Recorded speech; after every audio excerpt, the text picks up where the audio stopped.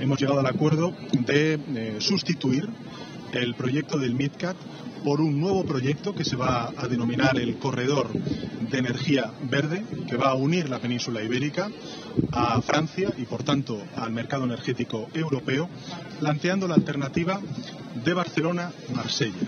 Y, por tanto, crear un pipeline, una tubería para el hidrógeno verde, pero también eh, durante la transición para el gas que necesite el mercado energético europeo entre eh, Barcelona y Marsella. Pues nada, ¿qué quieren que les diga? Así es el ecologismo ultra. Ya no le llamamos gasoducto, le llamamos pipeline. Y es maravilloso. Ya no hablamos de hidrógeno, hablamos de hidrógeno verde. Y se ha convertido en una cosa genial y maravillosa. Yo, de verdad, vamos a ver, se lo voy a traducir el mensaje aquí de nuestro querido y siempre poco valorado presidente, lo digo con toda la ironía.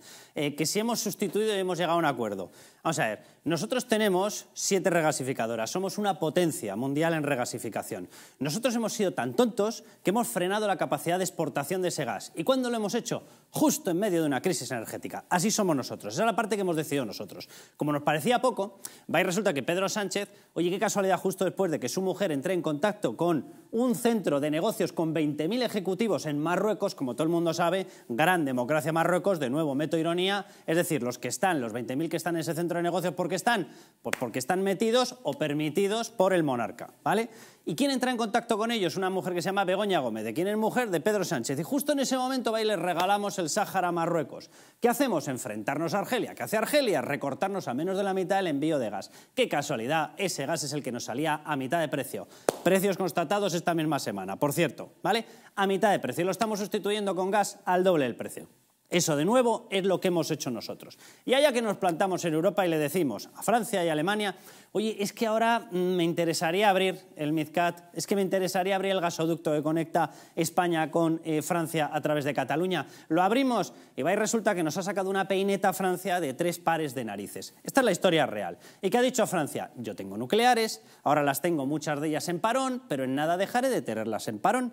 Y yo prefiero que en vez de que tú hagas negocio, España, ¿vale? Vendiendo el gas para que se genere electricidad, casi que la vendo yo y así el que me enriquezco soy yo, con mis centrales nucleares. Y la peineta está todavía resonando por todas partes, una peineta con neón para que la veamos de todas partes. Y allá que sale Pedro Sánchez y nos dice, hemos decidido sustituir. Usted no ha decidido nada.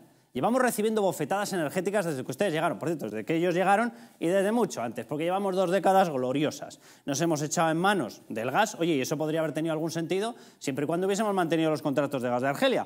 Pero estaba esa pericia diplomática, repito, barra Begoña Gómez, barra Pegasus, barra móvil del presidente del gobierno, que nunca llegaremos a saber, por lo menos de momento, desde luego no tenemos ni idea de qué había en ese móvil, justo para fastidiarla. Y nos hemos quedado con un modelo energético pensado en el gas sin capacidad de traer gas barato y sin capacidad de exportarlo. Unos genios, unos genios. A mí me lo explican y nuestra única salida era la nuclear. Pero es que somos antinucleares, porque tenemos que ser verde que te quiero verde, porque es que nos encanta el ecologista ultra. Lo pagamos a doblón, pero ¿cómo les encanta? A ellos.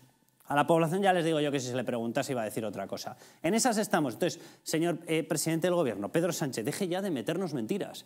Usted no ha decidido nada conjuntamente con nadie. Le han parado los pies porque usted ha desaprovechado oportunidades históricas, porque está fastidiando España, porque nos ha fastidiado incrementándonos adicionalmente a todo el tema de Putin, crisis energética y tal. Usted nos lo ha fastidiado adicionalmente fastidiándonos los contratos baratos de gas que teníamos con Argelia. Deje de contarnos milongas. Usted no ha decidido nada. En Europa no pintamos nada, no mandamos nada. Lo pintábamos en época de Aznar.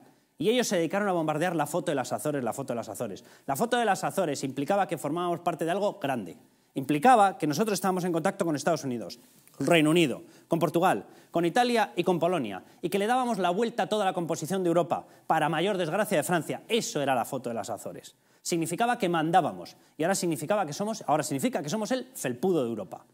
Ni foto en la que nos hemos repartido, señor Sánchez, usted no se ha repartido nada.